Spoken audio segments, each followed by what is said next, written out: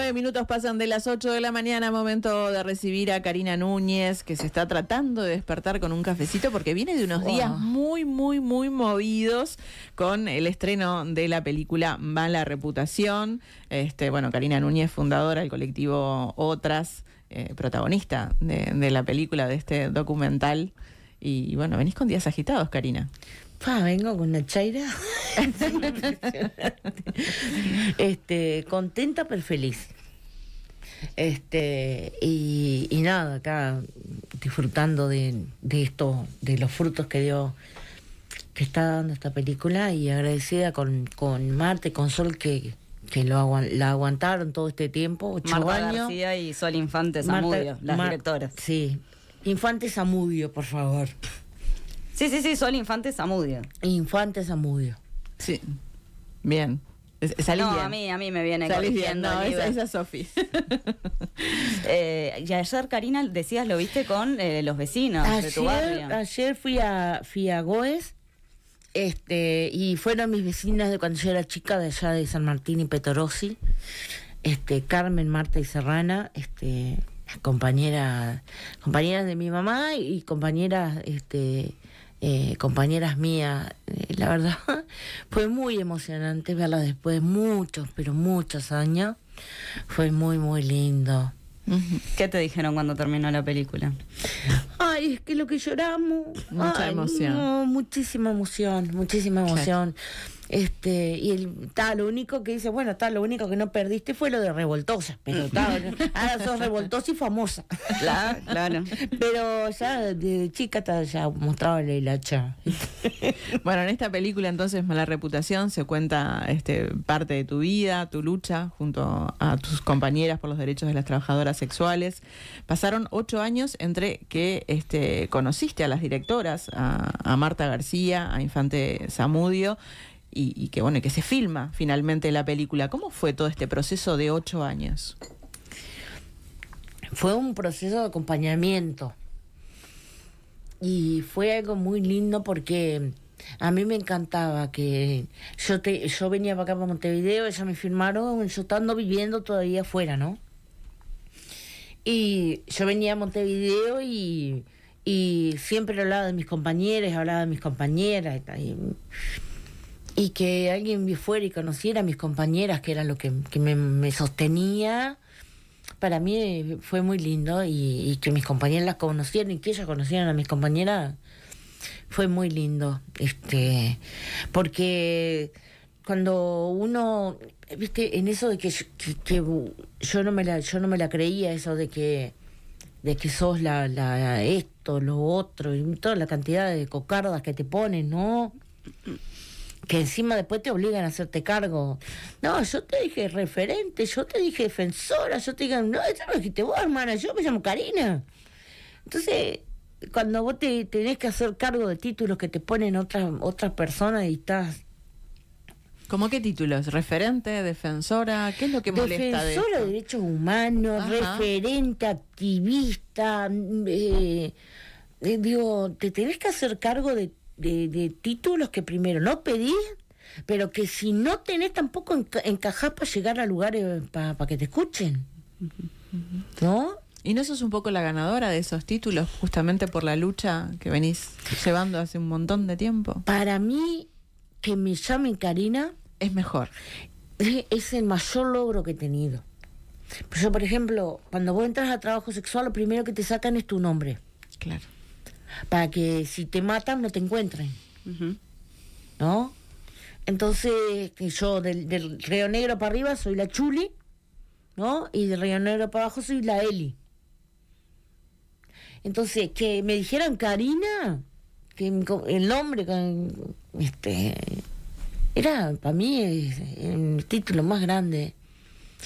Eh, después el resto, porque siempre cuando te ponen una cocarda te, te lo pone otro, y entonces el otro te pone con la expectativa de que vos tenés que llenar eso, que yo no estoy para llenar las expectativas de nadie, yo estoy para sobrevivir el día a día, poder llegar a vieja y no llegar a los 60 años a estar parada teniendo sexo por, por, por dos chauchos y un palito.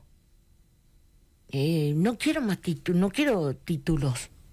Quiero realidades, quiero, quiero llegar a, vieja y poder jubilarme como trabajadora sexual, cosa que hoy no, no, no, aún con toda la, lucha que todo el mundo dice, ay, que progresaron, progresaron, no. Progresamos, no, seguimos cerca de 70 mil personas en oferta de servicio sexual y casi 16 mil trabajadoras sexuales. Eh, seguimos seguimos contribuyendo a que sigan mujeres este mujeres en situación de, de, pobreza utilizando su capital erótico para, para comercializarlo porque no les queda otra. Karina entonces eso eso para mí no es un logro porque una, una sociedad que no que tiene a tal pero tal extremo de oprimido los cuerpos de las mujeres pobres o marginadas a que lo único que le queda que es el capital erótico es que eh, quien lo tenga que salir a comercializar en las condiciones paupérrimas en las que tienen que hacerlo, porque encima ni siquiera les aseguran que no las maten, ¿da? Para mí eso no ganar. Karina, ahora vamos a hablar contigo porque justamente hay, dos proyectos que se presentaron en, los últimos años. Hay uno que se votó recientemente. no te enojes, todavía ya vamos, ya vamos a los proyectos. Pero antes te, te, quiero preguntar, más allá de que quizás no te lo hayas planteado así, obviamente te transformaste en una referente y a partir de esta película también, ¿no? Seguramente reflejas la situación de muchas mujeres. Entonces, te quiero preguntar para vos, Karina, eh, ¿qué representa esto? Sobre todo para otras trabajadores, trabajadoras sexuales o personas que estuvieron en situación de explotación sexual. Bueno, me, voy a quedar con un comentario de una compañera de Tacuarembó. Ajá. Una compañera que actualmente una compañera trabajadora sexual que este que, que es de Tacuarembó, que, que, es de una ciudad, de una localidad del interior de este di una entrevista y cuando salgo, fui con, con el doctor Carlos Benavide, director, en aquel entonces era el director departamental de salud, y me estaba esperando, me estaba esperando afuera y dice, es la primera vez que escucho una meretriz hablar en una radio. Quería conocerla. Digo, ¿cómo que es la primera vez que... Sí, nunca había escuchado una meretriz. Y quería saber a ver cómo era usted. Digo, bueno, capaz que no esa, para la próxima puede ser vos. Bueno, ya van a ser nueve años, ella es nuestra referente en tranquera. Y ella va a la radio, y ella habla, y ella... Pero para ella, en sus 45 años, era la primera vez que, que escuchaba una meretriz hablar en una radio del pueblo. Y seguramente la película ahora hace que llegue a más. Y ojalá que, y ojalá que la Porque película. además ya se está estrenando en el interior del país. Está girando, ayer fue Durazno y, y Maldonado. y, y, ojalá que esta, esta película, sobre todo del punto de vista en, que lo tomaron Sol y Marta, ¿no? Porque podrían haber grabado, y haber elegido de las 100 horas que grabaron no, se imaginan por todos los recovecos, por los que me siguieron, ¿no? Este, podrían haber elegido montones de cosas, pero eligieron eh, basarse en lo que nos llevó fundar el Sindicato de Trabajadoras Sexuales, el segundo sindicato en nuestro país. Karina, nos gustaría meternos ahora sí en los proyectos, ¿no? Porque la Cámara de Representantes aprobó recientemente las modificaciones al proyecto de ley de 2002 que regula el trabajo sexual. Este proyecto es distinto al que se había presentado por la oposición, que no acompañó esta aprobación. Vos tampoco quedaste conforme. Lo, que se aprobó, eh, ¿protege al consumidor, a las y los trabajadores sexuales? ¿Protege a ambos? Lo primero que, tengo que, para decir es que este proyecto que se presentó se presentó en base a todos los aportes de las 11 delegaciones que fueron a dar su opinión sobre nuestro proyecto de ley. Ellos juntaron todas las versiones taquigráficas de todos los que fueron como buenos gavilanes, fueron, recolectaron todo lo que lo pusieron en una normativa en base a sus sentires y sus saberes, ¿no?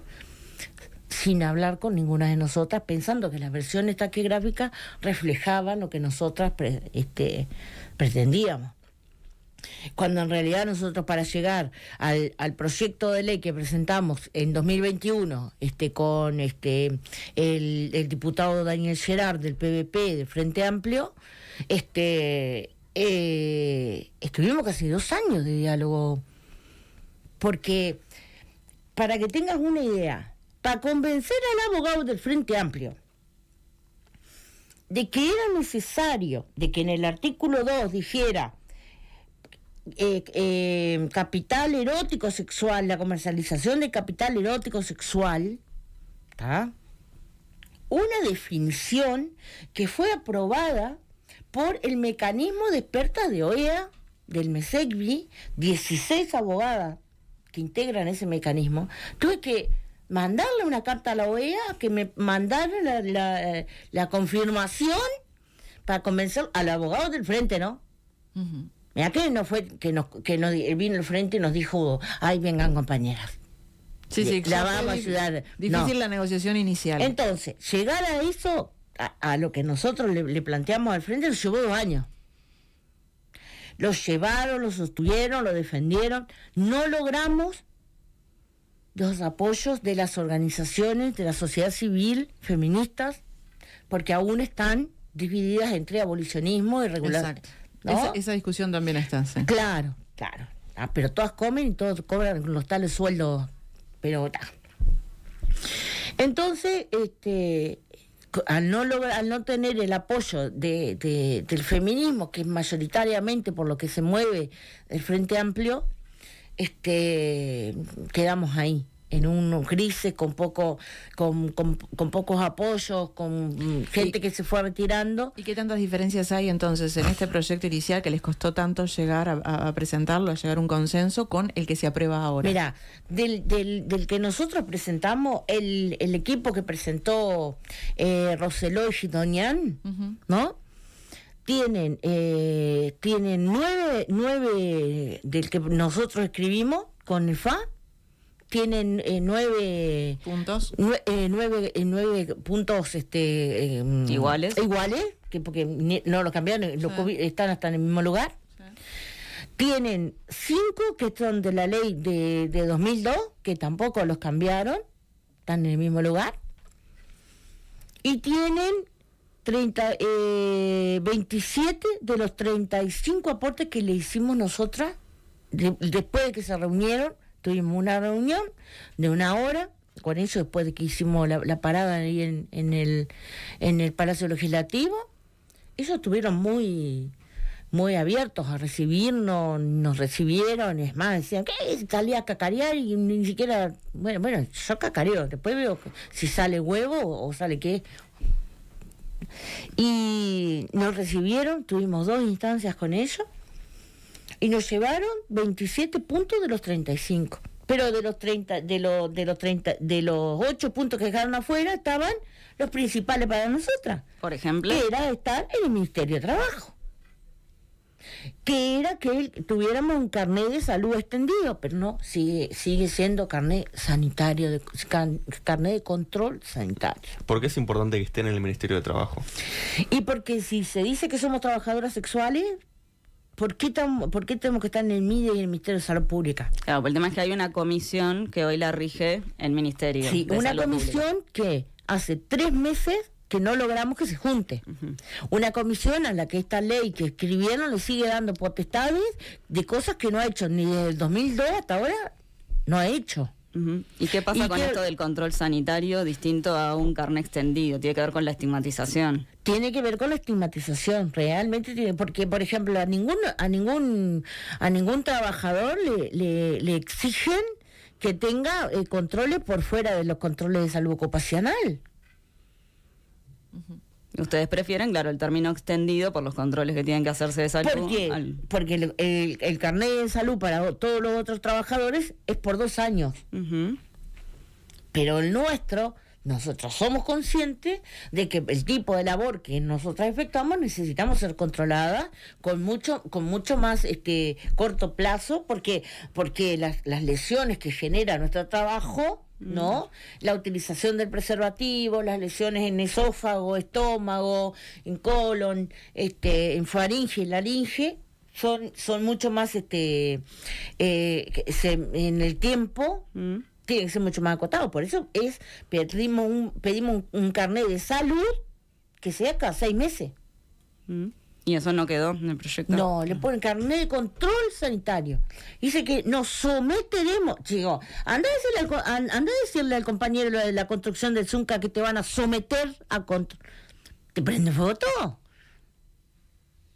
No, porque ahí la diferencia creo que parte de, la pregunta que hacía Lucas, que tiene que ver con esto, y ustedes lo han expresado, de dónde se pone el foco cuando se eligen los términos, ¿no? Si en quien compra... Sanitarista. Sí, no solo sanitaristas, sino en quien compra o en proteger a las trabajadoras sexuales, ¿no? el control para se hace. Protegernos no. Ahí no hay ningún ningún artículo que diga que, que están dentro de los ocho que nosotros me oponemos, es que se, se hará eh, campañas eh, eh, con los solicitantes de servicios sexuales y los clientes sobre los derechos y el, y, el cuidado de, la, de las personas en oferta de servicios sexuales. Nunca una campaña eh, para, el, para el otro.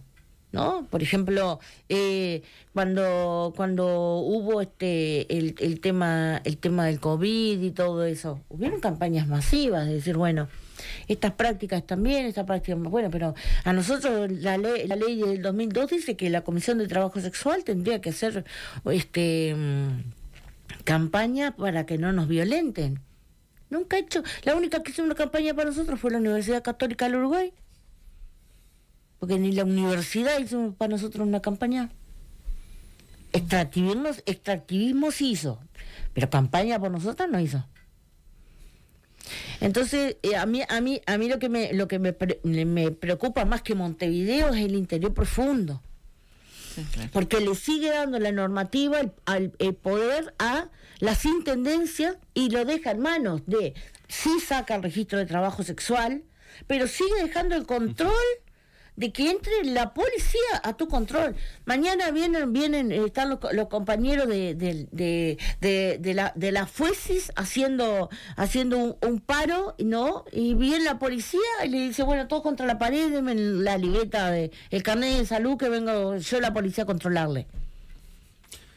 Y es solo nosotros a los que la policía nos tiene que pedir los carnés. ¿Por qué? Solo nosotros somos la que la policía tiene que decir que si estamos vestidas de tal o cual manera nos pueden llevar. Y sacarle las multas. Eh, eso fue el, colmo. Sacarle las multas a los dueños, de los, a los patrones, proxenetas, dueños de whiskería, de monopolios de whiskería en este país. Sacarle la multa porque dicen que no hay plata. Solo yo, solo yo, en casi seis años de demandas, denuncias, de 7 millones doscientos mil pesos le generé solo en multa. Lo que no conseguí fue que el Frente Amplio le diera la autorización a la Comisión de Trabajo para que tuviera una, una, cuenta en la que se le pudiera depositar la plata del Poder Judicial ahí. Y el Poder Judicial no puede tener más, creo, de, dos, de, tres o cuatro meses la plata en, en las arcas, porque ya no puede manejar plata, y se, se pasa a rentas generales. ¿Multas por qué, por qué tema eran, Por eh, violación a los derechos de las trabajadoras sexuales, según la ley de la 17.515, la 8.080 de proxenetismo, por cobrarles, por, cobrarles multa, por obligarlas a tener sexo sin preservativo, por obligarlas a hacer entre, entre 2 y 24 horas de trabajo forzado, por cobrarles dinero si se retiran antes. Eh, bueno, justamente yendo para, para ese lado, ¿no? Y algo que también se trata en la película, eh, tiene que ver con la trata y la explotación sexual de menores, no solamente de adultos, sino que encima estamos hablando de menores, ¿no? ¿Cuál es la realidad de nuestro país en este tema y, y si hay cierta diferencia en lo que pasa en el interior del país y lo que pasa acá en la capital? Y la realidad están los números, 475 intervenciones, de las que llegaron, ¿no? Las que llegaron vivas, con salud mental y sin adicciones. ¿Está? Porque las que no tienen salud mental, las que, las que murieron, por ellas murieron y nadie va a preguntar por qué. Las que llegan con problemas de salud mental, las terminan medicando o internando. Y las que tienen adicciones las dejan porque son unas pobres drogadictas que no saben lo que dicen. ¿Quiénes las dejan? El Estado. Porque se, supone que acá el que tiene que cuidarnos es el Estado, ¿no? O, no, ¿cómo es que se le dice?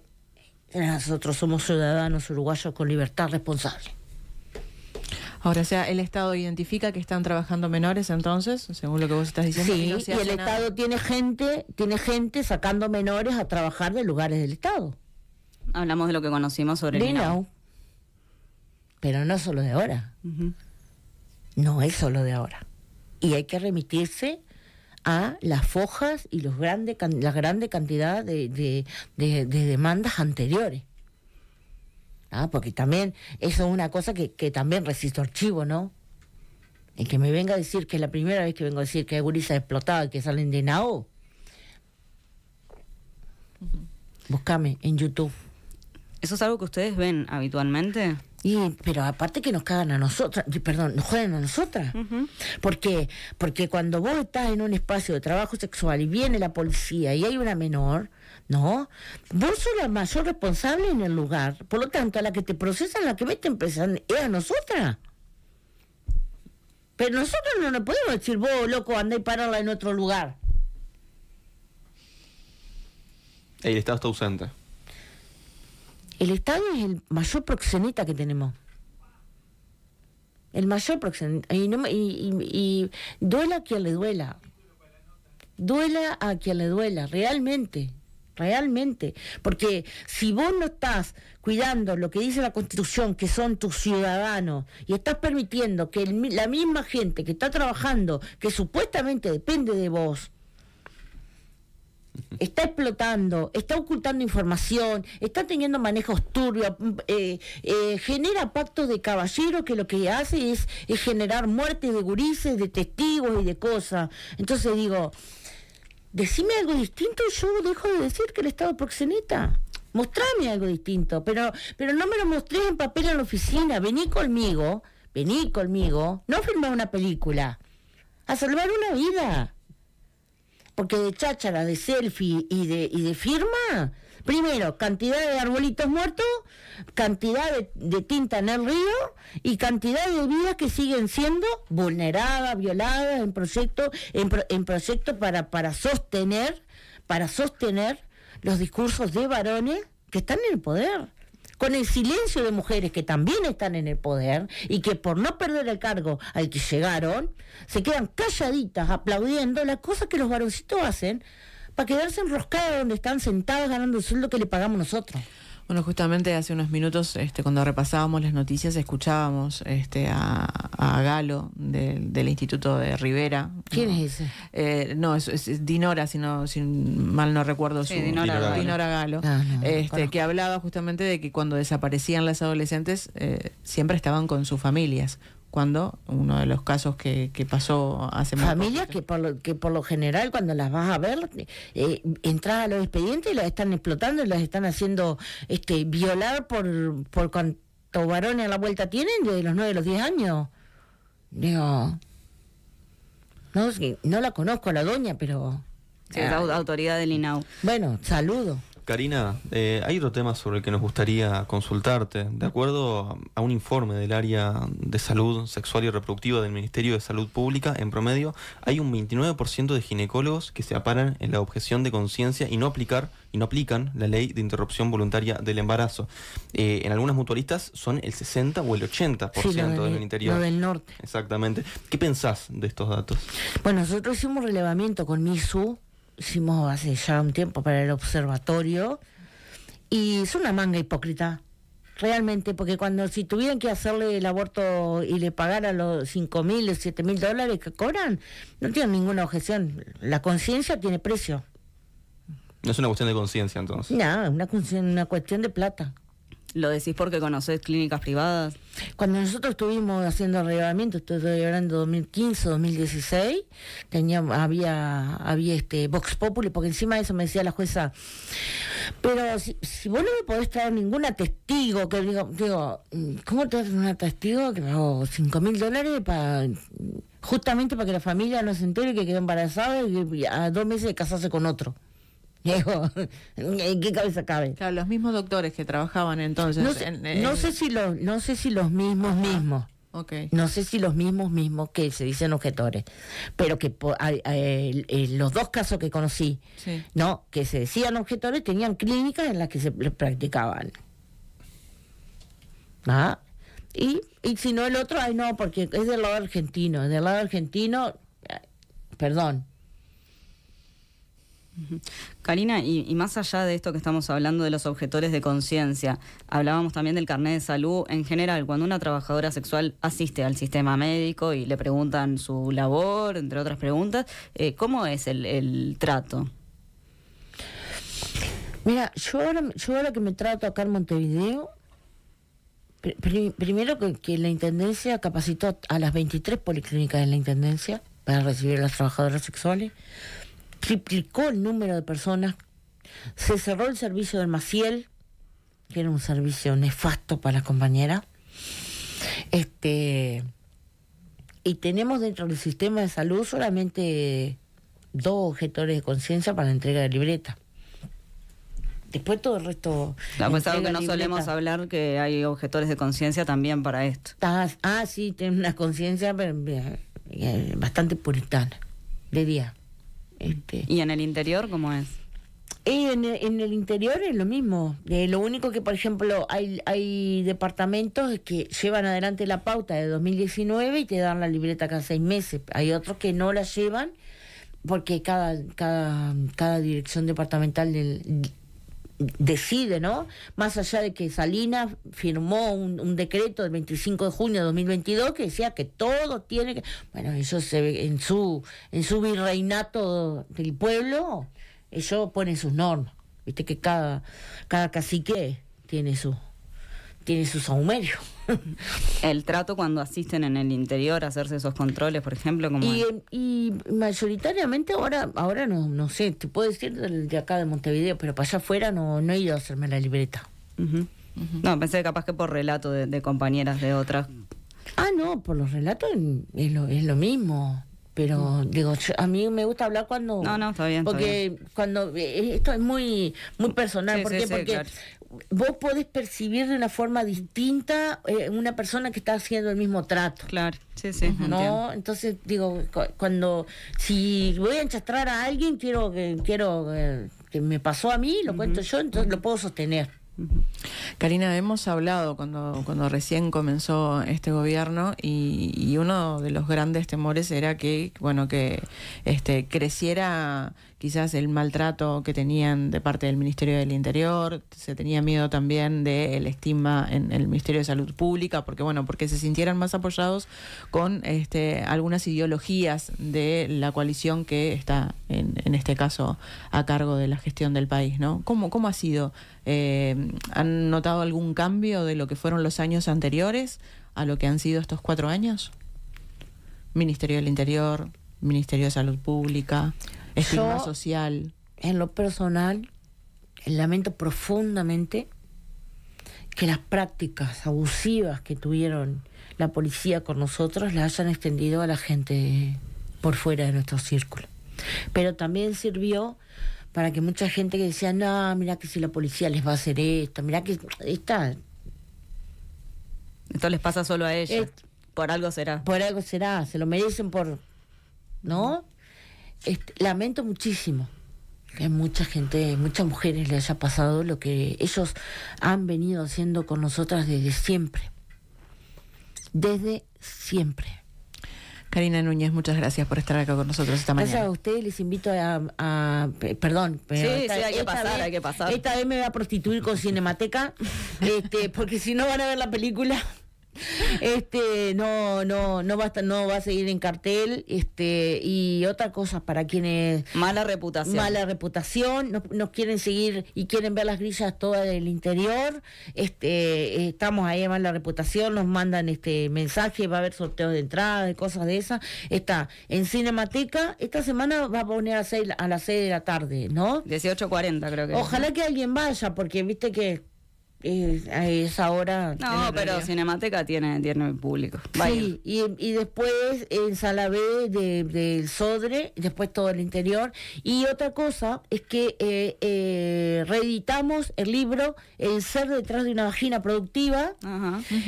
Eh, que ahora la gente cuando vea, cuando nos vea todas las locas juntas en la, película va a entender montones de cosas que, que comentamos en el libro, va a tener un poco más de, de, cosas. Este, y le mando un, un saludo a la Naomi y a mi gurí que están mirando Extendemos el saludo entonces. Acá me dieron de desayunar, no como ahí. Gracias, Karina. Gracias a ustedes.